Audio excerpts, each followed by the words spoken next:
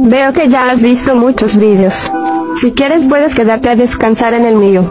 Tengo galletitas, no hace falta que deslique, te regalo la galletita. A mi izquierda tengo a mi perrita Benilla. Puedes acariciarla si quieres, ella no muerde.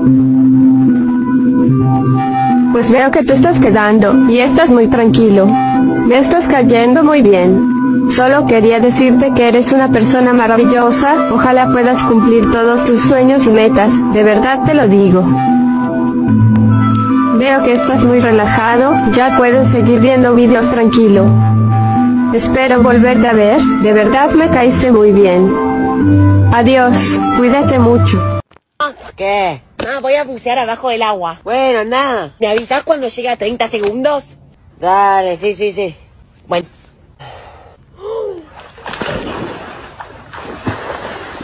Uy, che, ¿qué hora es? Las cinco y media. Hijo. ¿Me pasas un refresco? Sí, ¿quieres Coca-Cola o Pepsi?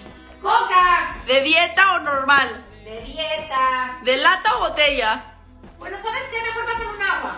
¿Natural o con gas? ¡Natural! ¿Fría o caliente? ¿Eres tonta o qué? ¿Muy tonta o más o menos tonta? ¡Ay, te voy a! ¿Con pistola o con cuchillo? ¡Ay, lo voy a agarrar yo! ¿Te acompaño o vas solo? Ok, yo no sé por qué razón los doctores tienen una letra tan rara, o sea, parece de otro planeta. O sea, pónganse que diga, toma paracetamol y yo leo... No, pues... Ah, y otra cosa es que la única de la casa que puede entender la letra de los doctores es mi mamá.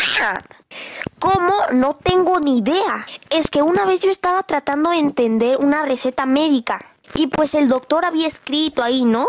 Y yo leía y parecía que estaba hablando en otro idioma, porque no entendía nada. Es que yo no sé, no sé si es porque escriben rápido, no sé. Es que no podrían hacer una letra bonita. Bueno, no me quejo de letra bonita. Una vez en la primaria me encontré un caracol.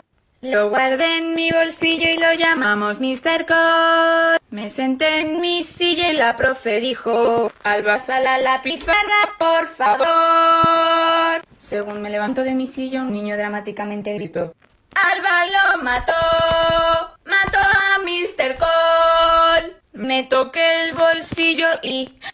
No mi caracol. Por favor, darle un paracetamol saqué los cuernos como mi ex me los sacó.